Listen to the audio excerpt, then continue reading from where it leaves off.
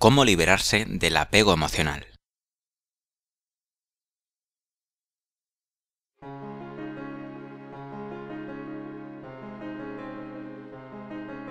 Una forma de liberarse del apego emocional es cultivando la conciencia testigo.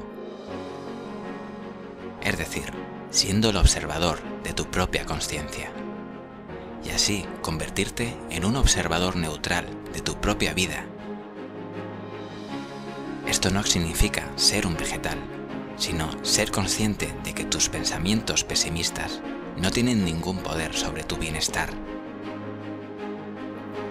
La parte de ti que está al tanto de todo es tu conciencia simple.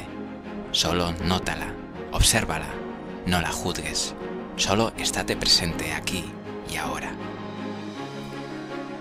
El testigo es en realidad otro nivel de conciencia el testigo convive con su conciencia normal, como otra capa de la conciencia. Es la parte de ti que está despertando. Los seres humanos tienen la capacidad única de estar en dos estados de conciencia a la vez. Ser testigo de ti mismo es como dirigir la luz de una linterna hacia ti mismo a tu espalda.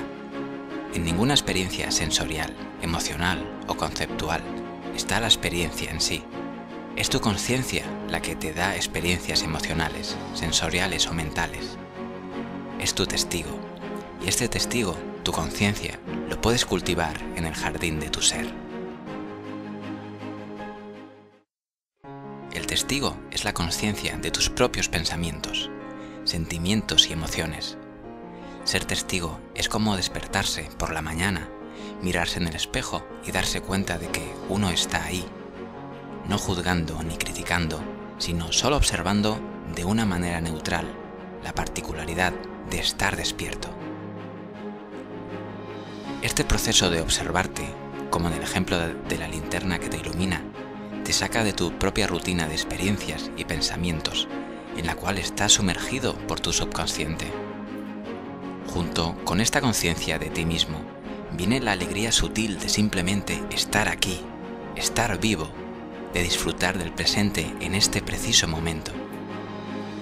Con el tiempo, estando en la conciencia como testigo, te encontrarás con tu ser espiritual, tu conciencia limpia, tu alegría esencial. El testigo es el centro. Guía el trabajo que haces contigo mismo y una vez que entiendas que hay un lugar en ti que no está unido a tus pensamientos automáticos, puedes liberarte a ti mismo de tus archivos sobrantes aquellos que te marcan los límites, aquellos que ponen un muro a tu potencial ilimitado. Jesús nos advirtió, no os hagáis tesoros en la tierra, donde la polilla y el orín corrompen, porque donde está vuestro tesoro, allí estará vuestro corazón también.